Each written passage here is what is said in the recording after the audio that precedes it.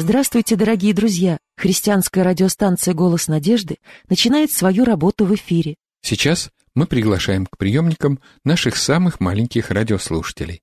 Дорогие ребята, для вас звучит программа из рубрики «Детская страничка». Две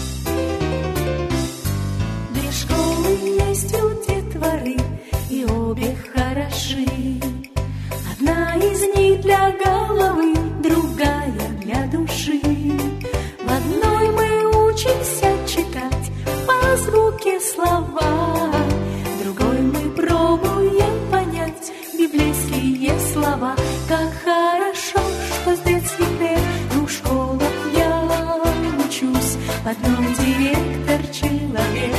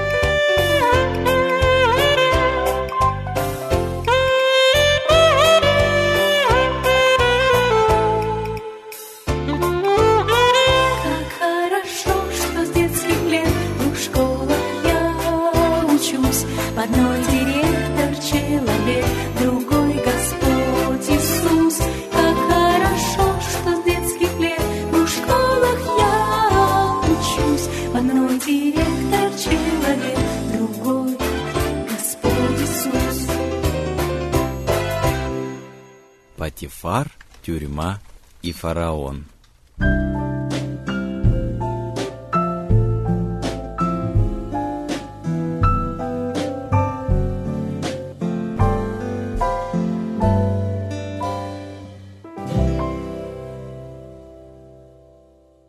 Виночерпия вернули на его прежнее место, а пекаря обезглавили и повесили на городской площади. Отовсюду к его безжизненному телу слетались стаи птиц, чтобы вовсю полакомиться его плотью. А Иосиф так и остался в заточении, вдали от дома. Виночерпий совсем о нем позабыл, но о нем помнил Бог. О, нет! Что, же случилось дальше? Так хочется узнать. Профессор Эпплби рассмеялся и поспешил достать следующую пленку. Я так и знал, что эта история придется вам по душе. Не переживайте, у меня есть продолжение. Вскоре дети снова услышали всплески весел, Мэгги Би немного прокашлялась и стала рассказывать дальше. Египетские мудрецы и чародеи стояли перед троном могущественного фараона. Сердца их трепетали. Они были в полном смятении. «За что же вам платят, если вы не можете растолковать мне значение моих снов?» прогремел повелитель Египта. «Может быть, Его Величество соблаговолит рассказать нам свой сон еще раз?» сказал, заикаясь, один из чародеев. Фараон окинул его суровым взглядом. Густые черные брови его почти сошлись на хмуром челе. «Ладно, слушайте еще раз. И слушайте внимательно, начал он снова. Мне приснилось, что я стою у великой реки, животворного Нила.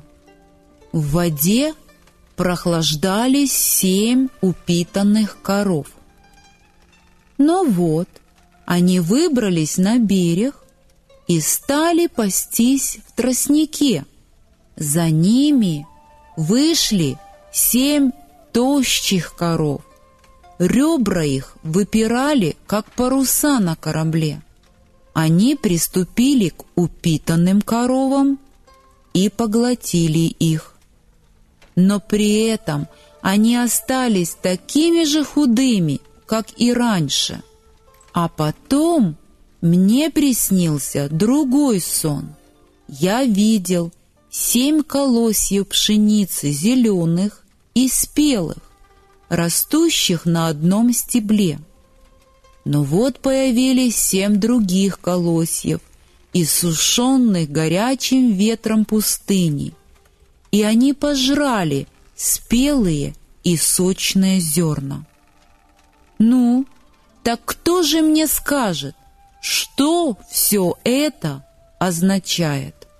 Чародеи и мудрецы раскрыли было рты, но не могли вымолвить ни единого слова, а только хлопали в недоумении глазами, не сводя взора со своего повелителя. И вот тогда вперед выступил виночерпий фараона, тот самый, который два года тому назад пообещал Иосифу походатайствовать о его освобождении. «Ваше Величество», — произнес он с дрожью в голосе, «я должен признаться сегодня в том, как несправедливо я поступил с человеком, который может истолковывать сны». И он вкратце рассказал царю об Иосифе. «Пошлите за ним», — приказал царь. В это время Иосиф совершал молитву, стоя на коленях в дальнем углу темницы. «Долго ли еще, Боже?» — молился он. Он старался не терять присутствие духа, но чувство одиночества не покидало его, и он очень скучал по дому, по своему отцу и мечтал о свободе. Внезапно его молитву прервал звук шагов. Подняв голову, он увидел направляющегося к нему стражника. «Вставай!» — рявкнул тот еще издали. «Тебя требует к себе царь. Немедленно. Вот тебе приличная одежда. Переоденься. Когда оденешься, тебя побреют». Страж с отвращением посмотрел на длинную бороду Иосифа, которую он отрастил в заточении. В Египте только невежды-чужеземцы носили бороды. Через несколько минут Иосиф оказался во дворце фараона. После темничного полумрака блеск золота резал ему глаза. Он с изумлением озирался по сторонам на дорогие гобелены, на яркие фрески на стенах и на богато расписанный потолок, который повествовал о великих деяниях фараона. Все говорило о том, что он был в тронном зале самого могущественного властителя в мире. Высоко на троне восседал фараон. Его глаза превратились в щелки, сквозь которые он недоверчиво оглядывал узника. Иосиф склонился перед царем. А тот, не дожидаясь, пока бедный раб снова поднимет голову, бросил ему вопрос. «Насколько я понимаю, ты можешь истолковывать сны?» «Нет, я не могу», — поспешил ответить Иосиф. «Но может Бог, которому я служу».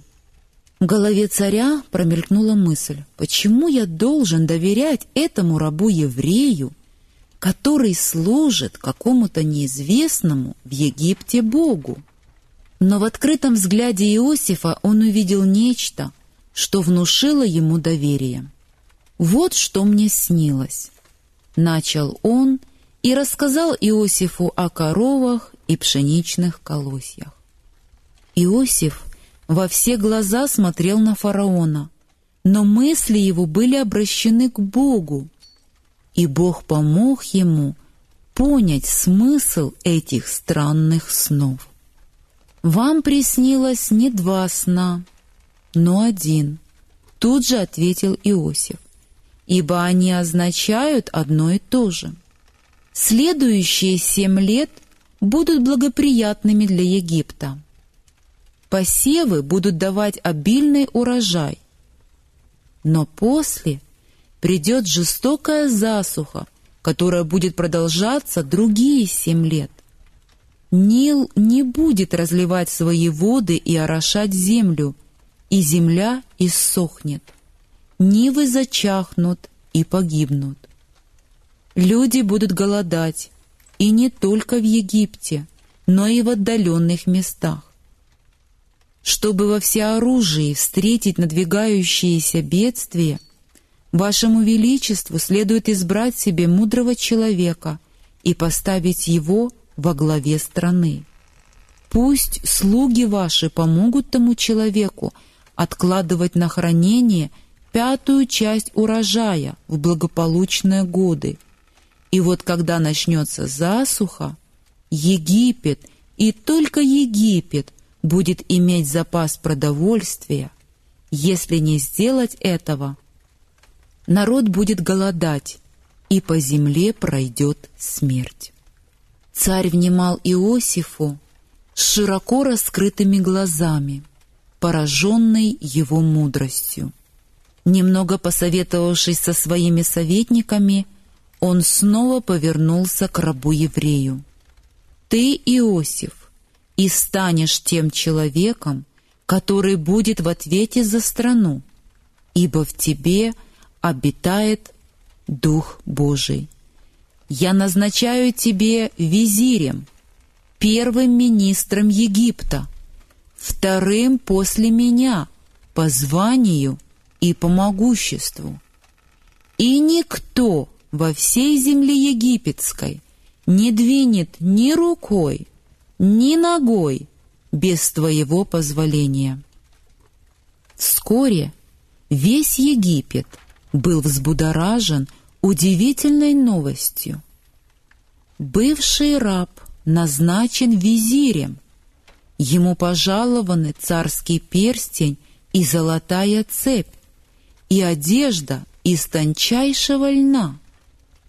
Раб, еще недавно сидевший в темнице, теперь разъезжает по их узким улицам в царской колеснице, а все египтяне по приказу царя должны кланяться ему до самой земли. Фараон дал Иосифу новое египетское имя и жену Асинефа, дочь Патифера, жреца Илеопольского. И вот тридцатилетний Иосиф стал объезжать всю египетскую страну, возводя новое хранилище для зерна и руководя сбором урожая царские закрома.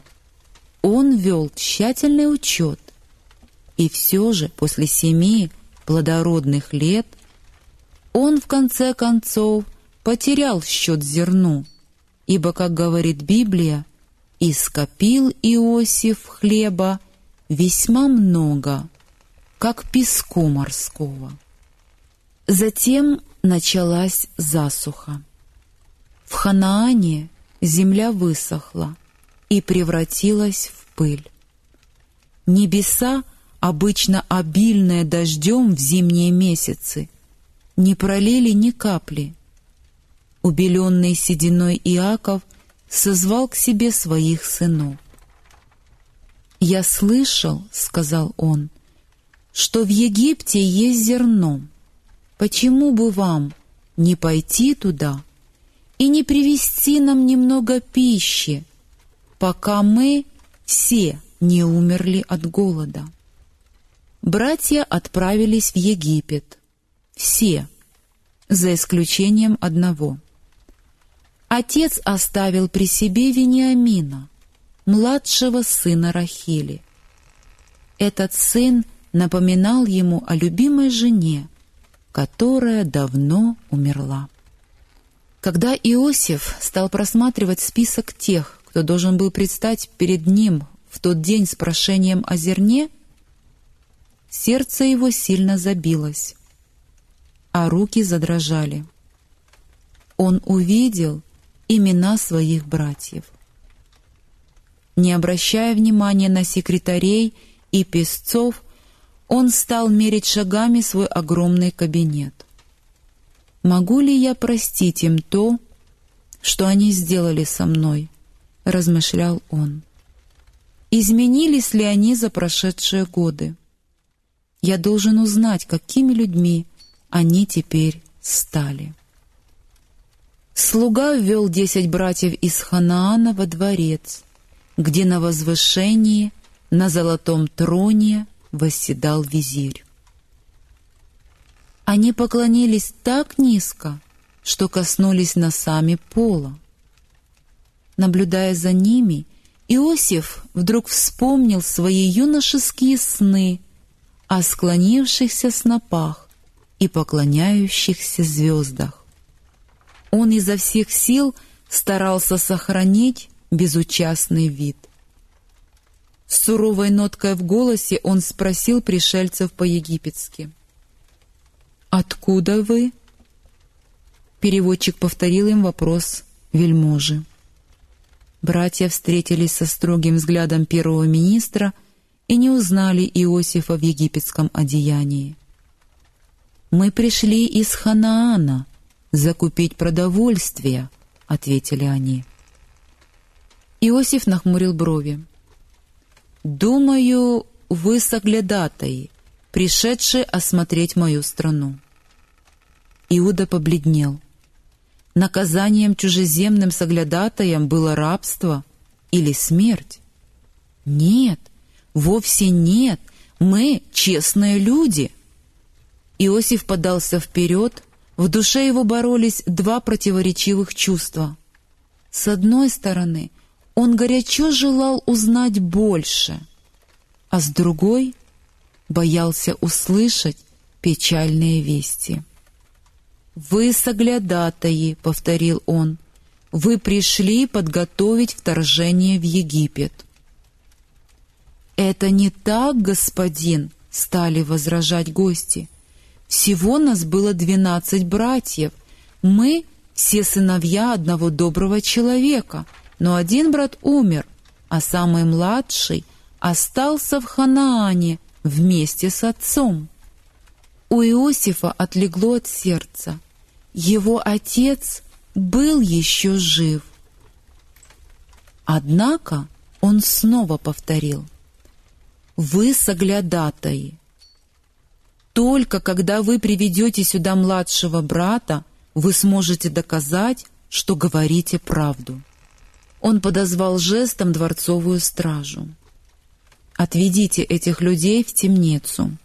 Через три дня братьев вывели из заточения, и они снова предстали перед внушающим трепет первым министром. «Я человек богобоязненный, и потому пощажу вашу жизнь, но при одном условии», — заявил Иосиф. «Один из вас должен остаться здесь в качестве заложника, а все остальные возвращайтесь к себе домой. Приведите ко мне своего младшего брата, вот тогда я и узнаю, что вы говорите правду». Братья стали переговариваться между собой, даже не подозревая, что первый министр понимает каждое их слово. Деваться некуда. Нам придется сделать все, как он велит. По делам же нам. «Вспомните, как мы поступили с Иосифом», — сказал один из них. «Мы остались глухи к его мольбам, потому и сами сейчас оказались в беде». Чувство вины, терзавшее братьев все эти годы, выплеснулось наружу. «А ведь я говорил вам не трогать мальчика», — пенял им Рувим. «Теперь нам придется сполна заплатить за его смерть». Иосиф бросился вон из зала, будучи уже не в силах скрывать охватившую его скорбь. Вернувшись спустя какое-то время, он указал на Симеона. «Посадите этого в темницу», — приказал он, «а остальные пусть купят зерно и возвращаются домой». Когда сыновья Иакова отправились в обратный путь, у них не было никакого настроения разговаривать друг с другом. Когда наступил вечер, они разбили лагерь. Один из братьев, собираясь покормить своего осла, развязал мешок с зерном. Когда он повернулся к спутникам, лицо его было белым, а глаза широко открытыми от пережитого шока. «В моем мешке лежит серебро, которое я заплатил за зерно», едва переведя дух, произнес он. «Как оно туда попало?» Всех охватило недоброе предчувствие. Они тоже бросились к своим мешкам. В каждом из них оказались серебряные слитки, которыми они расплатились за зерно. Пораженные и напуганные, они и представить себе не могли, что первый министр сам вернул им деньги. Наконец, они добрались до Ханаана и рассказали своему престарелому отцу обо всем, что с ними произошло. Иаков не сводил взора со своих сыновей. «Вы вернулись без Симеона, а теперь хотите, чтобы я отпустил и Вениамина?» У этого владыки немало странностей. Кто знает, что он выкинет в следующий раз. Я не отпущу Вениамина. Отец, если я не верну Вениамина в целости и сохранности, ты можешь убить двух моих сыновей, отвечал ему Рувим. Но Иаков был непреклонен. Он ни за что не хотел отпускать в Египет младшего сына Рахили, который стал ему еще дороже с тех пор, как он потерял Иосифа. Ведь там его ждал кровожадный властитель, желавший поиграть в жестокие игры с жизнью его сыновей. «Никогда», — твердил свое Иаков, — «если я потеряю Вениамина, мне уже не жить на этом свете.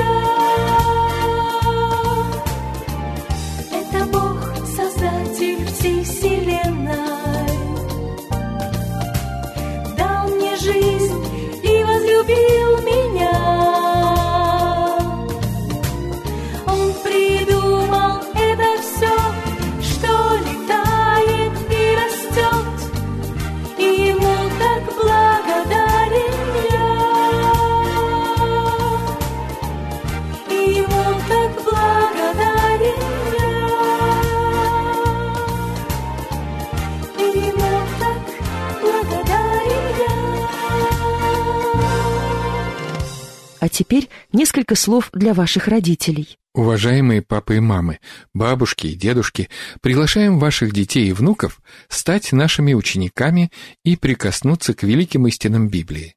Условия обучения подробно описаны в первом уроке. Ребята будут заниматься по мере своих возможностей, их никто не будет торопить. По окончании обучения вместе с дипломом наши юные выпускники получат прекрасно оформленную детскую Библию. Итак, ждем ваших детей и внуков в нашей заочной библейской школе «Небесный лучик». Чтобы приступить к занятиям, достаточно прислать заявку по адресу 127 473 Москва, абонентский ящик 3, христианская радиостанция «Голос надежды». Посетите также и наш сайт в интернете. Его адрес www.голоснадежды.ру. Ждем ваши письма. До свидания. Всего вам самого доброго.